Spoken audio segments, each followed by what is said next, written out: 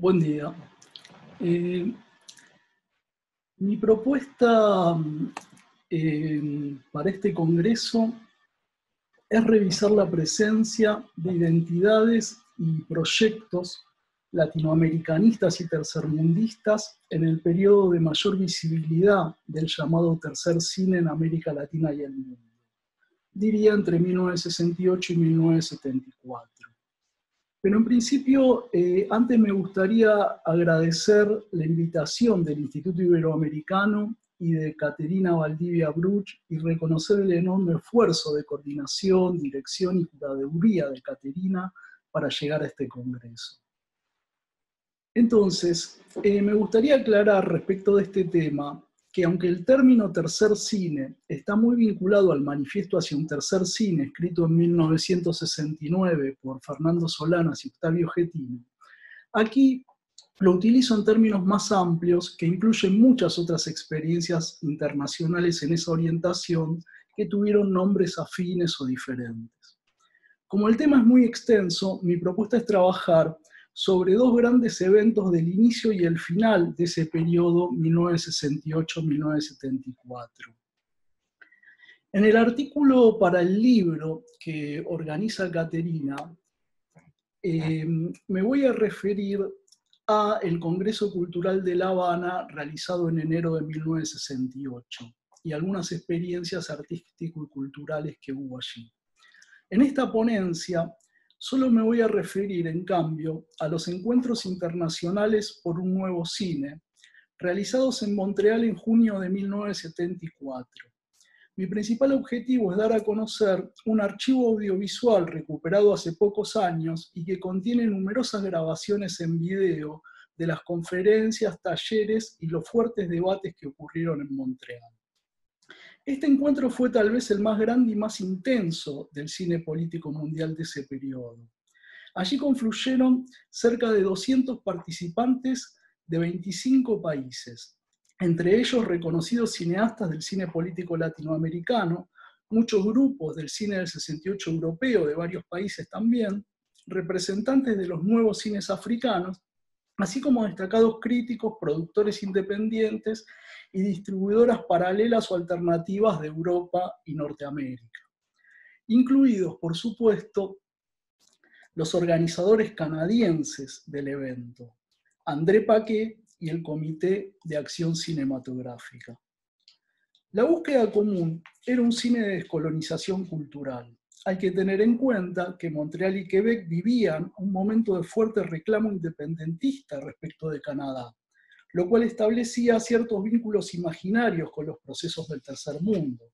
Al mismo tiempo, la idea de alcanzar algún tipo de articulación entre los grupos de cine militante tan diversos y de tantos países llevó a la formulación de la expresión Estados Generales del Tercer Cine, que juntaba el nombre muy conocido de los grupos de cine surgidos en el 68 en Francia, casi todos ellos presentes en Montreal, con las propuestas del tercer cine. Los registros audiovisuales que se conservan del encuentro de Montreal son 48 bobinas de media hora cada una, eh, grabadas en vídeo originalmente. Esta es la, la, página que hizo André Paquet luego de la recuperación de estos fondos audiovisuales recientemente. Allí incluyó varios materiales que habíamos transferido de vídeo a digital y que ahora están accesibles. Durante ese encuentro de 1974 hubo muchos debates sobre esa coyuntura del cine político mundial entre otros, discusiones sobre el marxismo, el socialismo real y las alternativas del cine revolucionario con el objetivo de evitar el triunfalismo o la promoción de los héroes positivos. También un panel de debate sobre las posibilidades del audiovisual para convocar a la participación de la base y sobre los límites de la noción del cineasta como autor o su superación por la figura del animador cultural. Asimismo, sobre las posibilidades que los cambios en las tecnologías del audiovisual en algunos países, me refiero a la transición del fílmico al vídeo, facilitaban para la vieja cuestión de movilizar al espectador. Y hubo también una extensa discusión y muy dura entre los cineastas políticos latinoamericanos. Un debate muy álgido por las discrepancias ideológicas entre ellos, en el que participaron figuras conocidas como Fernando Solanas, de Argentina, el uruguayo Walter Achugar, el chileno Miguel Litín, el cubano Julio García Espinosa y el director del Festival de Pésaro en Italia, donde iba mucho cine político en esos años, desde 1968, Lino Michique. Pero quiero detenerme en otras discusiones y mostrar algunas imágenes que permiten ejemplificar el aporte de este archivo audiovisual para indagar con mayor profundidad en dos temas. Por un lado, el compromiso activo de muchos grupos de la izquierda europea y norteamericana en la producción y difusión del cine de América Latina, África o Asia. ¿no? Y en segundo lugar, la influencia general del tercermundismo en el encuentro y en general durante el periodo. El primer tema, en esos años, como se sabe, existía un circuito de festivales de cine y distribuidoras paralelas o alternativas militantes del primer mundo que difundían films políticos del tercer mundo en Europa y Estados Unidos. En Montreal estuvieron presentes representantes de algunas de las más activas en el uso social, militante o educativo de las películas, como por ejemplo Tricontinental Film Center de Estados Unidos, el Third World Newsreel, también de Estados Unidos, la francesa MK2, del conocido cineasta, productor, distribuidor Marin Karmitz, o The Other Cinema, entre otras. Esta es una publicidad de las películas que distribuía The Other Cinema, por ejemplo. Ustedes pueden ver en el centro arriba la película chilena El Chacal de Nahuel Toro, de Miguel Litín, de 1969, La Argentina, La Hora de los Hornos, de Solana Cigetino, de 1968, y La Boliviana Sangre de Cóndor, de Jorge Sanginés, de 1969. Pero es solo un ejemplo de la presencia de estas películas latinoamericanas y del tercer mundo en los catálogos de, todas esas distribuidoras y muchas otras. En el archivo de Montreal hay registros también de breves minutos de una reunión de trabajo entre cineastas latinoamericanos y representantes de esas distribuidoras. Pero también hay otras secuencias que muestran un intenso debate en curso. Por ejemplo, se escucha a algunas de las distribuidoras más pequeñas reclamar a las más potentes, siempre todas ellas independientes, por su intermediación de la circulación de los films del tercer mundo en Europa, que no les llegan directamente a las pequeñas en, esta crítica. O la intervención, por ejemplo, del cineasta sudafricano exiliado Lionel Ngakein, reclamando una mayor unión de las productoras independientes del primer mundo para enfrentar los monopolios y dar un apoyo financiero más sólido al tercer mundo, a su cine o secuencias que muestran acusaciones de productores o cineastas latinoamericanos hacia algunas distribuidoras, donde se destaca una polémica entre el productor independiente norteamericano Bill Sassman y uno de los representantes del Film Centrum de Suecia, Jan Lindskit. Sassman había producido dos películas del cineasta argentino Raimundo Gleiser y su grupo Cine de la Base, y habló de su experiencia con el film Los Traidores de 1973. Pero también hizo un reclamo general a las distribuidoras europeas sobre una mayor responsabilidad en la difusión del cine militante del tercer mundo. La intervención de Sassman, así como la respuesta de Linsky, muestran una relación no tan armónica. Aquí veremos ese intercambio eh, que está en inglés y subtitulado al español y con imágenes del film, ya que proviene de una edición que hicimos para un programa de la televisión argentina.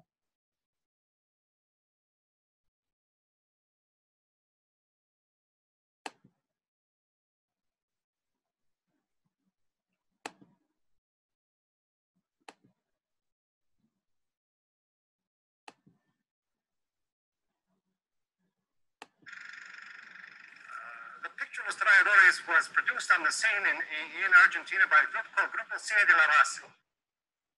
They not only produced the film in the sense of actually making it on the spot, the very same people involved in that activity undertook the distribution of the film within Argentina. Now, it is because they made the wager for political reasons that they felt that their task was not done when the film was done.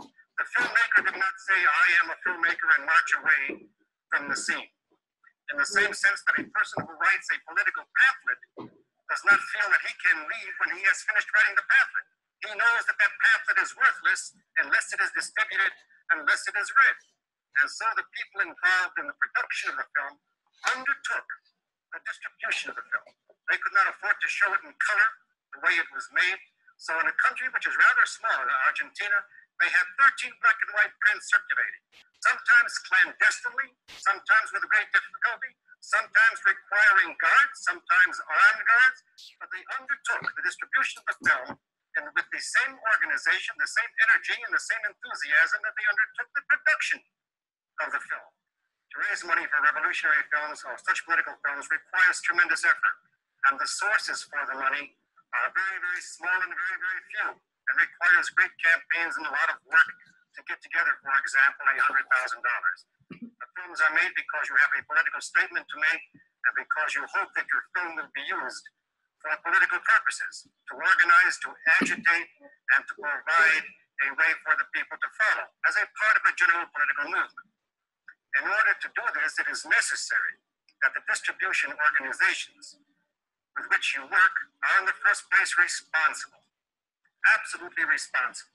There are scores of distribution organizations which are organizations of good and very well-intentioned people, people who have the best emotions at heart, but who make their own political decisions. For example, they may be developing a network in a given country, and they feel that this is an important political act. They therefore use the income a picture which has been produced somewhere else to help defray the cause, the development of the network. Certainly, the development of the network is an important thing. Certainly, it has a real progressive meaning, but to do so at the expense of depriving filmmakers from continuing their work, who require the income from previous films to go into the next film and to keep doing this over and over again, is an act of complete irresponsibility. John Lindquist Film Center.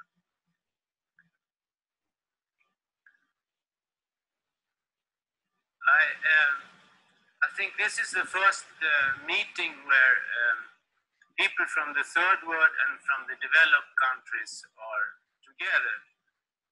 When we started for, it's about almost 10 years ago, we started to distribute the third world films as a solidarity act. Then uh, we developed, together with the developing of our own uh, distribution, a system to get these films into uh, our countries and also into other countries in Europe, in Scandinavia principle, but also some work with other countries. And um, we, but uh, now in change with the, the foreign situation, we could say that we are depending on the third world films. I would say that openly, that we are uh, depending on the third world films to develop the basis of an independent distribution. After six, seven, eight years of work, we now have created a basis of non-commercial distribution and of commercial distribution. There are people all around the country working in free time in local places to uh, with the managing of equipment for projection, with the posters, with everything to get the films out. And in this situation, uh, the monopolies uh, want to, to break down our organization and also sees the possibility of money in, in the films. So, what, happens is that the monopoly, when the case of Los Traidores, the agent from Cine de la Base arrived in a moment, a very critical moment in the struggle with the film industry. Well, this new organization was recently set up, and he, uh, he, they want the Latin Americans wanted as much money as possible, and with reason for their film. And uh, we couldn't, we, we don't, we are, we are not capitalists. We don't have big amounts of money. We can just put the things, they we can make a print, put it in the circuit, and with a percentage basis, uh, get quite much money for the film. Well, they asked for money. We couldn't pay anything. So uh, uh, they asked for other distributors who could pay because they were in lack of money. And they uh, went to one of the biggest monopolies, Sandra Film, and they paid uh, cash the highest sum ever paid for this kind of film. It was about five thousand, five six thousand dollars. What? Eleven thousand dollars. It's a tremendous sum in Sweden. The film, uh, I talked with the agent and I said, we cannot do anything. We, but what will happen is that with this kind of, of uh, uh, in this situation, what will happen is that some of the films that could be profitable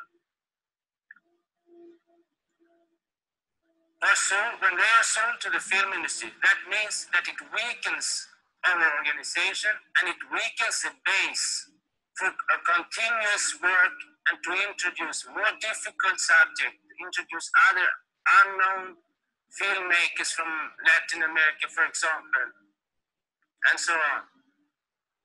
Uh, the film was shown, I think, one week at the theater in Stockholm. It was a tremendous failure. It went down like that because there was no information around the film. The public were not was not adjusted to this kind of film.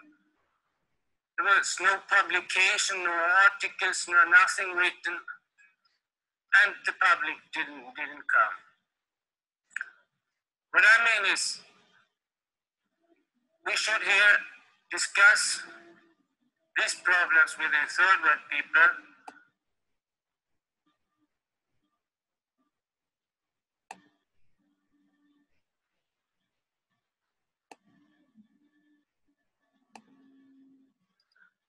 Muy bien.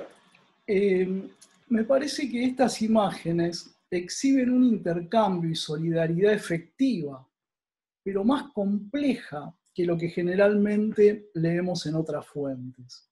Y es solo un ejemplo de los numerosos debates de esas jornadas que se pueden ver en estos archivos y podremos seguir conversando en las sesiones de marzo. Porque me interesa aquí, para terminar, pasar eh, al segundo punto, la influencia del tercermundismo. A pesar que en Montreal estuvieron presentes, como ya dije, cerca de 200 representantes del cine militante mundial, cada uno con sus ideas, con sus teorías sobre el cine y la revolución. El tercer cine ocupó el centro de la escena. De hecho, para la convocatoria general se eligió como frase destacada, como epígrafe del programa, que ustedes pueden ver aquí arriba de todo, una cita del Manifiesto hacia el Tercer Cine de Solana Sigetino, justamente un párrafo que vinculaba la lucha de los pueblos del tercer mundo con sus equivalentes en los países del primer mundo. Es decir, la idea de crear allí esos estados generales del tercer cine que mencioné antes. En esta imagen que ven ahora de la mesa de conducción, perdón. Bueno, no, no la tengo aquí, pero la imagen, hay una imagen de la mesa de conducción del plenario final del encuentro, donde vemos de izquierda a derecha al organizador general André Paquet, al tunecino Tahar en representación de la Federación Panafricana de Cineastas, al sueco Karl Svenstedt, representando a los llamados países chicos, al argelino Lamin Mervá y al argentino Jorge Giannoni. Estos dos últimos, Mervá y Giannoni, estaban representando al Comité de Cine del Tercer Mundo, surgido en Argel en diciembre de 1973. Es decir, Tres de los cinco integrantes pertenecían al tercer mundo, Mervá, Giannoni y Yería, y eran activos promotores de su cine político. Incluso de todos ellos fue Tahar Yería, que había sido fundador de las Jornadas Cinematográficas de Cartago en Túnez, quien condujo durante el plenario final la mayor parte de las discusiones. Y la mayoría de las intervenciones de la Asamblea regresaban una y otra vez sobre una sugerencia que había formulado el argelino Lamin Merva al principio, que era la conformación de un comité de cine similar al del tercer mundo por parte de los cineastas y grupos progresistas del primer mundo allí presentes, para luego confluir en un frente cinematográfico antiimperialista en el plano mundial. Aunque es cierto que esta idea es muy retórica y tal vez utópica, incluía propuestas más precisas de avanzar en lo inmediato en acuerdos efectivos de cooperación, cuestión que ya venía ocurriendo, como vimos, por ejemplo, en las imágenes y las discusiones respecto de la distribución. Pero lo que me interesa destacar en este final es que ese impulso del tercermundismo cinematográfico, que poco después como se ve, quedará relegado, como se sabe, perdón, todavía en ese momento tenía una influencia también en la organización regional del Comité de Cineastas de América Latina, creado solo tres meses después de Montreal. Voy a recurrir a este esquema para ser lo más preciso posible, porque no se trata solo de reconocer esa tendencia tercermundista entre cineastas latinoamericanos, cuestión ya conocida en varios de ellos sino de indagar en los vínculos imaginarios y materiales concretos de ese proceso de relación del latinoamericanismo y el tercermundismo en términos más precisos. En la pantalla se ve arriba los encuentros más grandes y significativos, ya muy conocidos, donde confluyeron cineastas de América Latina en la propia región entre 1967 y 1969, Viña del Mar, Mérida, la Cinemateca del Tercer Mundo de Uruguay y su encuentro. Allí, el nuevo cine latinoamericano, en particular en, Mérida y Viña del Mar, alcanzó una articulación común. En los años siguientes, los grupos de cine militante tuvieron un gran desarrollo en cada país. Hubo intercambios bilaterales entre cineastas de más de un país y también con críticos y cineastas extranjeros. Al mismo tiempo, algunos se encontraron en festivales europeos pero ya no volvió a realizarse un encuentro tan numeroso e importante como lo fueron los de Viña del Mar o Mérida, que se consideran un hito dentro de la historia del movimiento del nuevo cine latinoamericano. Hasta que recién en 1974, en Caracas, que está al final de la imagen que ven, se consiguió un agrupamiento regional con la creación del Comité de Cineastas de América Latina, ahora con muchos de ellos exiliados, algunos desaparecidos o, presos, y en una fase más cerca de la resistencia a las dictaduras del Cono Sur que de la radicalización de los años previos. Pero en los meses anteriores al encuentro de Caracas de septiembre de 1974, muchos cineastas políticos latinoamericanos participaron de encuentros con cineastas africanos, como se ve en el medio. Si bien existían antecedentes previos, ese vínculo alcanzó mayor articulación y visibilidad con la creación del Comité de Cine del Tercer Mundo en diciembre de 1973 en Argel y con su segunda reunión en Buenos Aires en mayo de 1974, es decir, pocos días antes del encuentro de Montreal en junio.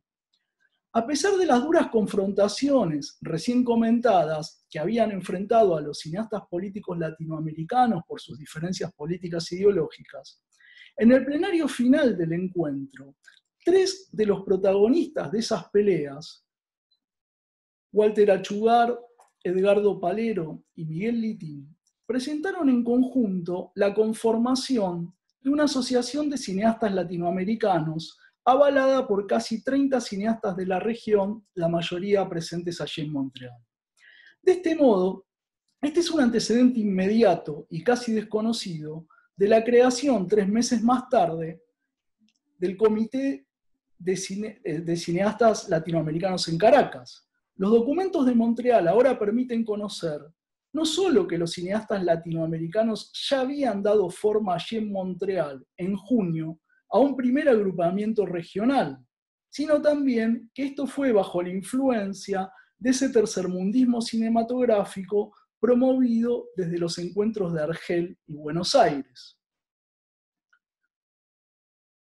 En ellos ya se hablaba, como en Montreal, de crear una Federación Latinoamericana de Cineastas, FELACI, y se proponía de modo explícito seguir el modelo de la Federación Panafricana de Cineastas, FEPACI, que existía desde 1969.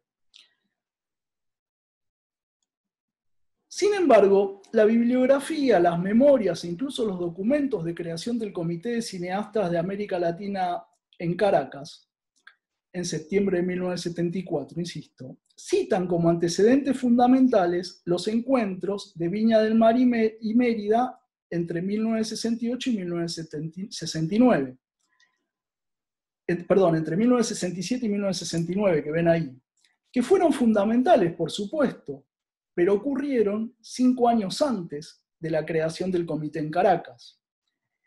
En cambio, esos documentos relegan a un segundo lugar estos otros antecedentes inmediatos de Argel, Buenos Aires y Montreal, donde también habían participado numerosos y reconocidos cineastas latinoamericanos.